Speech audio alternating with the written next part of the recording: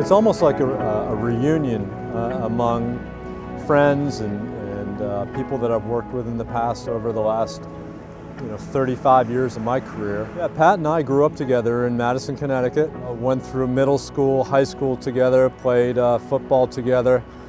I, I uh, developed an interest in turf and then he kind of followed behind that. We both worked at Madison Country Club, both went to the University of Massachusetts. Well, Jon beat me into the business. His, his job was working for a gentleman, Mike Chrzanowski.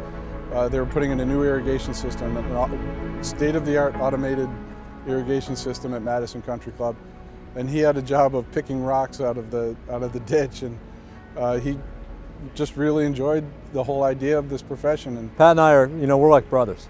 Um, you know, to, to, to, boil down our relationship and simplify it, um, it's nobody, nobody in the world outside of my family that I'm closer with. Regardless of the distance that we've been from each other, uh, we, we probably talk once or twice a week. So we've got the same sense of humor.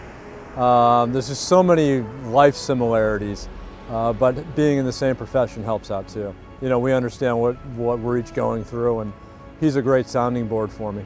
I started at Madison as superintendent in 1980 and Jon was the first to start for me. He was a senior in high school. Uh, Pat followed the next year. I mean, Mike's been a, a, a mentor my entire, my entire uh, professional career.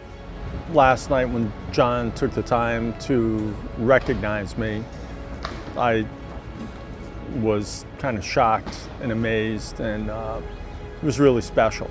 It's great having the two of them here and, and you know again it's like having family support. I, I, wouldn't miss this for my life. It's a, it's a bit of a reunion, uh, seeing old friends and, and here with Jon. I, I couldn't imagine doing it without him.